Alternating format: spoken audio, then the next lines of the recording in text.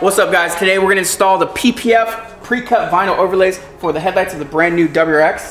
Um, this is something that everybody should do. If you own one of these vehicles, you wanna definitely cover them up. If you look at the headlight, it's very flat. So what that is, all I see is rocks impacting that headlight, totally damaging over time. So what you wanna do is you wanna protect it.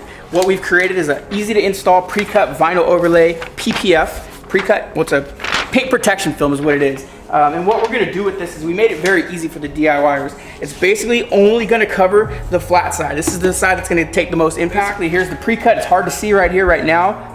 First things first, you're gonna wanna um, spray down the headlight. I'm gonna spray it down.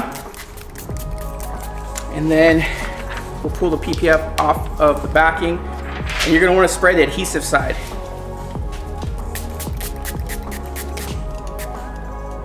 All right, then you're gonna wanna line it up.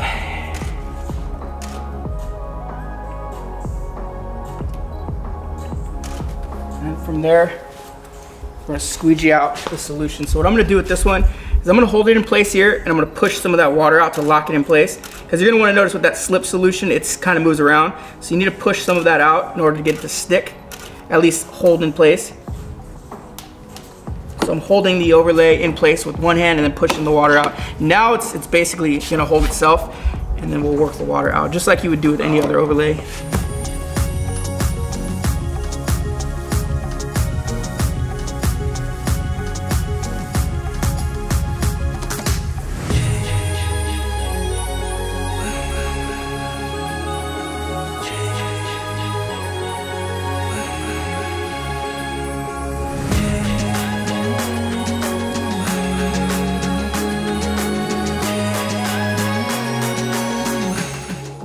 I installed the PPF and what you'll notice right here in the corner is a little difficult because you have a little bit of a bend right here. You can't see it on camera, but there is a little bit of a recess. So you're gonna wanna push that water out and then right here to the corners.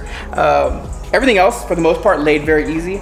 But what I would recommend is after you do this install, let it cure. Let it sit for at least probably like two or three hours outside because you did use a slip solution. And if you don't push all that out, the edges are gonna start to pop up and ultimately it can fly off. You don't want that to happen. You wanna let it dry up. They're the most important overlays that we offer for this vehicle. So if you own one of these, you wanna buy these, get them, install them, you won't regret it. Um, over time, you're gonna notice that these will begin, begin getting pitted up. The bugs, the rocks, everything's gonna hit your overlay you can remove the overlay and replace it and you got a nice clean headlight down there. That's exactly what you want. Have them protected.